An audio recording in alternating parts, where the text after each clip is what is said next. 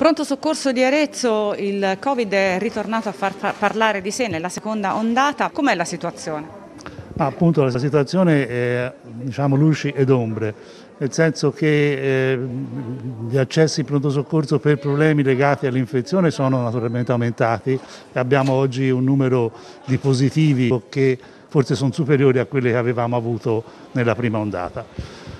Eh, non possiamo reggere a questa diciamo, seconda onda d'urto proprio perché c'è invece una riduzione degli accessi al pronto soccorso per patologie diciamo così normali e soprattutto per le basse, ehm, le basse intensità. La gente quindi ha capito che, insomma, che alcune cose si possono affrontare in maniera diversa e non venendo al pronto soccorso e questo ci aiuta molto perché purtroppo i pazienti positivi o sospetti tali assorbono molte risorse e ci assorbono, assorbono molto tempo. Ci sono sempre percorsi separati, li avete riattivati ammesso che li abbiate mai tolti? No, non li abbiamo mai tolti, sono sempre percorsi separati e anzi stiamo migliorando ancora questa separazione facendo dei piccoli lavori murari che permetteranno di avere una sala d'attesa per i parenti che non possono ovviamente entrare dentro. Purtroppo ci sono ancora limitazioni molto